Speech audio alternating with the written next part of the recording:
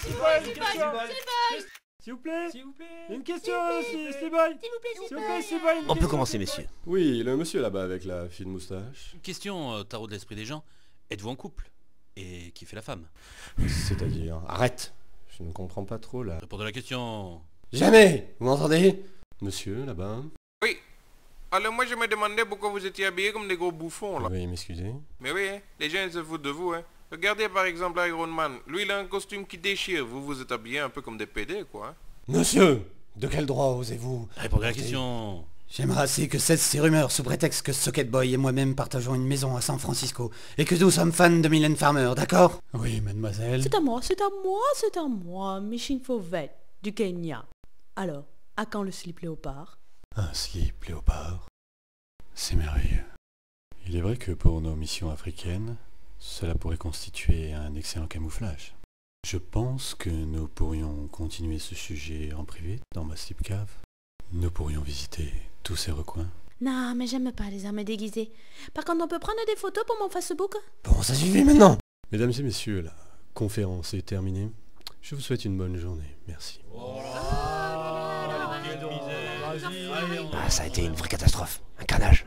Bide. Je ne serai pas aussi négatif. Il y a eu notamment cette charmante journaliste. Et t'arrêtes de me fixer poulet Ça commence à bien faire hein. Mais déjà, et d'une, tu montes pas du doigt, d'accord? Et tu vas te calmer, tu manques pas de respect avec tes petites tenues tapettes là.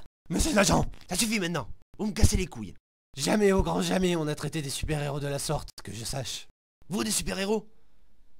Non mais je vous jure, ce qu'il faut pas entendre. Un vrai couple de vieilles tarlouses déguisées, ouais, n'importe quoi. Une... T'en veux du super-héros? Mate un peu le plasma, ma grande.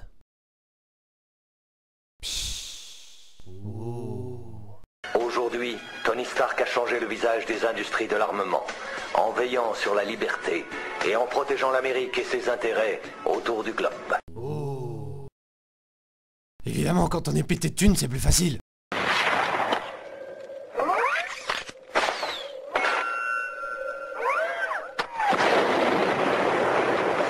Regarde le charisme qu'il a, c'est pas une tafiole.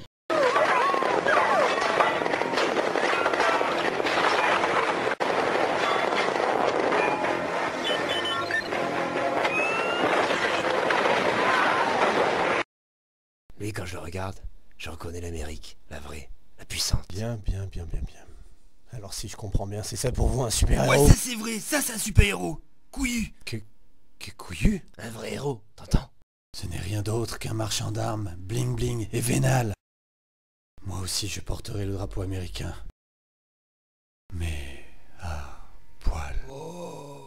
Ok Slip Boy, je te suis. Mais je te préviens, je garde les choses à terre. Capitaine, je veux plus voir ces tarlouses dans mon bureau. À vos ordres, commissaire. Bon, les petites tapettes, maintenant vous dégagez, vous sautez par la fenêtre.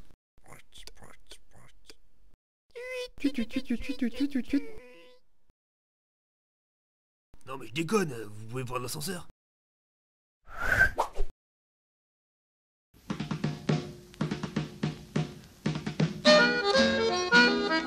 S'il ne te reste plus dans la poche qu'un ticket périmé d'autobus, dis tant pis, tant pis, oh tant pis, tant pis, nous conseille Nostradamus.